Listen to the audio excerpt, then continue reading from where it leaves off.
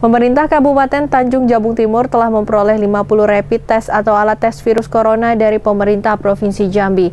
Namun hingga kini rapid test belum digunakan karena dipersiapkan hanya Kepala Dinas Kesehatan Tanjung Jabung Timur Ernawati membenarkan telah menerima rapid diagnostic test atau yang disebut juga dengan rapid test. Rapid test merupakan alat yang digunakan untuk pemeriksaan tes virus corona secara cepat menggunakan metode pemeriksaan cepat melihat suatu infeksi di tubuh. Rapid test untuk Kabupaten Tanjung Jabung Timur diterima pada 27 Maret 2020 dari Pemprov Jambi. Usai mendapatkan 2.400 rapid test dari Kementerian Kesehatan Republik Indonesia. Ernawati menjelaskan penggunaan rapid test nantinya akan difokuskan kepada pasien dalam pengawasan mengingat keterbatasan jumlah rapid test yang diterima. Akan tetapi rapid test juga dapat digunakan kepada orang dalam pemantauan yang telah menunjukkan tanda-tanda atau gejala signifikan yang mengarah terjangkit virus corona. Mekanisme penggunaan rapid test cukup sederhana, yakni sampel darah diambil sedikit dari ujung jari, lalu sampel tersebut diteteskan ke alat rapid test. Selanjutnya, cairan pelarut sekaligus reagen akan diteteskan di tempat yang sama.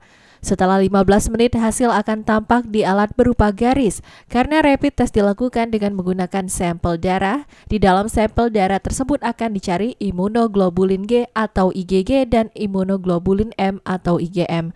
Keduanya merupakan bentuk dari antibodi atau bagian dari sistem kekebalan tubuh.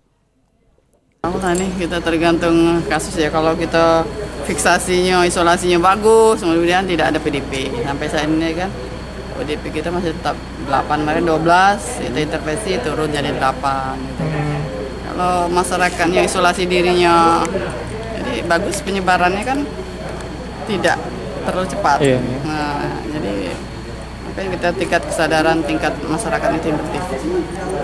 Ya, kalau masyarakat paham untuk di rumah tidak ke mana-mana, dan pasien yang uh, orang orang-orang yang datang dari daerah terjangkit sadar dengan dirinya bahwa saya ini dari Jakarta, saya dari Bandung, mungkin saja saya bawa virus, virus ya. ya isolasi selama 14 hari kan. Tercatat saat ini Tanjab Timur merupakan kabupaten yang paling sedikit jumlah ODP, yakni 8 orang. Sepekan sebelumnya jumlah ODP sempat mencapai 12 orang. Namun saat ini telah terjadi penurunan karena banyak masyarakat yang mengerti terhadap kasus ODP, di mana masyarakat secara mandiri melakukan isolasi dengan terus menjaga kesehatan sekaligus meningkatkan imunitas tubuh selama masa inkubasi 14 hari. Rapid test, eh, alhamdulillah memang kita sudah terima sebanyak 50 set ya uh, alat rapid test untuk COVID-19. Kita kita sudah uh, uh, kalau untuk pembelian sendiri kita ada sudah melalui uh, dinas kesehatan. Jumlahnya saya lupa di berapa berapa kesehatan kemudian rumah sakit ada kita kita anggarkan. Berarti terjangkau dengan anggaran cukup. Ya masih masih terjangkau. Ya. Rama Admiral Jack TV melaporkan.